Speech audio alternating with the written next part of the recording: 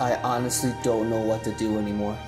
I, I don't get why this is so difficult and so stressful. I think I'm just gonna quit.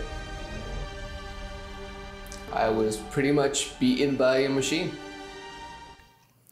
So I got a 3D printer. I've been wanting one of these since December. I got to use one that my cousin owns.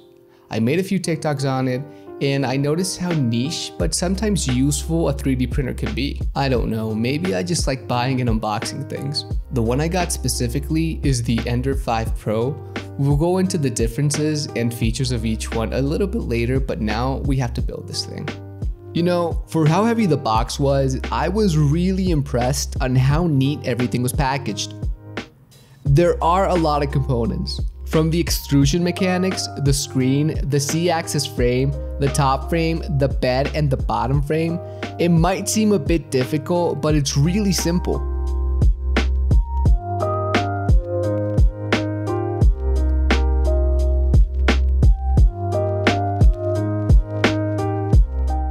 I don't want this to be a how to build guide since the instruction booklet is pretty forthright, but let's build it quickly. As always, a neat workspace is advised since you'll be working with large pieces of hardware. Everything is basically screw on and done. We're adding the four 2040 profiles onto the bottom frame first. Don't worry about cabling, that's the last bit we'll do. After doing everything manually, I remembered that I had an electric screwdriver which really sped up everything. Once we've attached everything to the bottom frame, adding the top frame is actually easier.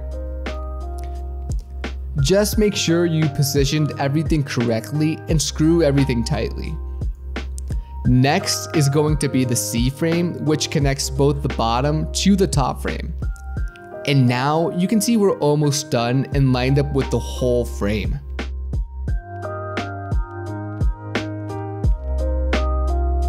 All that's left is to screw on the bed to the C-frame and the LCD screen to the right side. With that, all you're missing is how you're going to position the spool holder for the filament and where your extrusion mechanism is going to be set and it's done.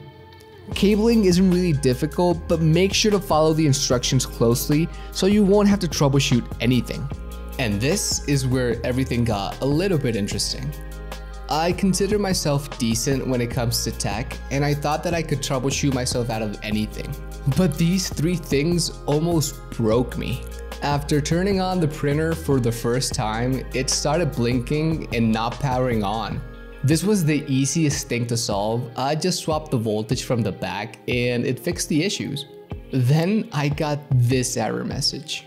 At first, I googled it to see if anyone else had had this issue, and a lot of people did. The only thing I had to do was update the software, and that's what I did. So I thought I had fixed the problem, and I went ahead and tried to print a pig. But nothing in life is easy, especially with technology. I didn't record this, but here's a screenshot on what my next issue was.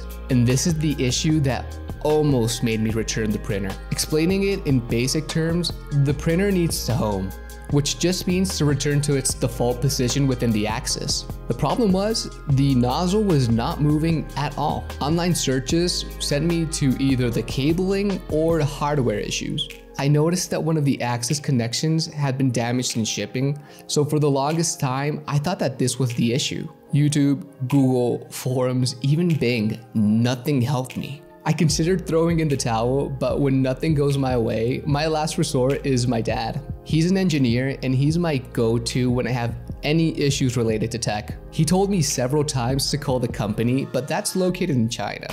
And being the stubborn ass that I am, I was not going to do that. In the end, he called the company and troubleshot his way into fixing it.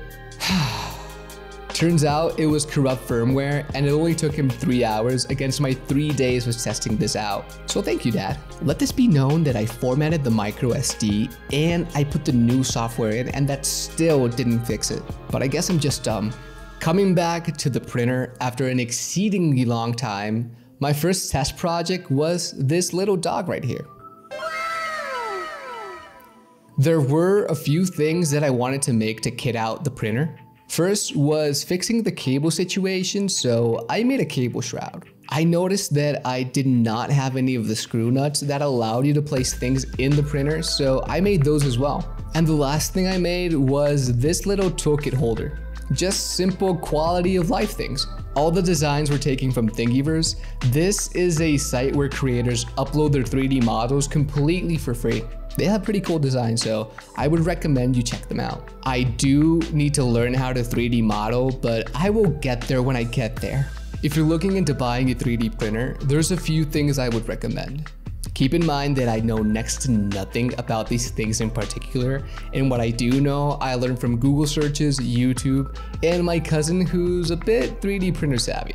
These are what you would call entry-level 3D printers. The Creality Ender 3 and the V2 version are probably what you would want to start out with. It's the most budget-friendly option coming from Creality at around 180 or $250. Even though it might seem a bit pricey and you still have to factor in the filament costs, it's what I would call a starting point. The one I bought, the Creality Ender 5 Pro, is about $350 and that's still considered an entry-level 3D printer. But this one's a bit different though. Since it has a cage-like structure, this helps manage out the vibrations, leading to a better print. Being the Pro version, it's actually really silent when you compare it to the Ender 3. Ender 3 owners can probably attest to that. Comparing it to the Ender 3, which has a plastic extruder, the Ender 5 has a metallic one, which can lead to more durability and also stronger pressure, which then leads to better prints. There are also other options like the CR10S and the Sermoon, which looks amazing, but I just don't know enough about them to speak about them. There are probably tons of options I haven't mentioned, but as I said, I am learning as I go, and I think I went a bit overboard. Oh well. For now, I'm enjoying my working 3D printer. I'm making a sort of dock with a wireless charger inside it for my AirPods Pro. If I manage to finish it, I'll throw an image on screen right now of how it looks like. Leave me some ideas in the comments on what I should make, and if you own a 3D printer, let me see some of your designs that you've made. Remember that a like and a sub goes a long way. I hope you enjoyed this video. Follow me on all my other social media, and bye.